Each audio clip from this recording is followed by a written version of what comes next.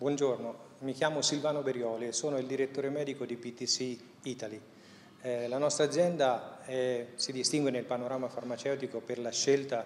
di aver eh, indirizzato tutti i suoi sforzi verso la, il trattamento, l'individuazione di trattamento per pazienti con malattie rare.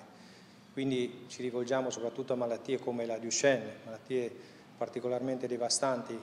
che hanno una incidenza per quanto bassa è veramente importante, parliamo di 15.000 giovani ragazzi affetti in Europa.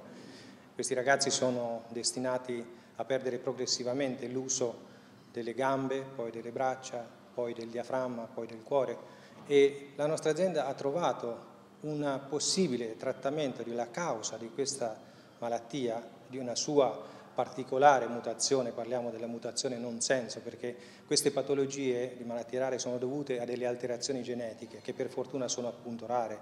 però in questo caso sono differenti, abbiamo delezioni, abbiamo mutazioni, abbiamo mutazioni puntiformi. Quello che PTC con i suoi scienziati ha fatto è stato riuscire a trovare una molecola in grado di permettere la sintesi proteica di una proteina fondamentale per l'uso muscolare, che è la distrofina e quindi abbiamo permesso e stiamo permettendo ai ragazzi che assumono questo trattamento di prolungare il tempo che sono abili a camminare, quindi posticipare la perdita dell'uso della deambulazione. E questo potete immaginare per questi pazienti, per le famiglie, quanto sia importante. Naturalmente cerchiamo di eh, investigare anche sulla possibilità che questo principio attivo, Ataluren, il nostro farmaco,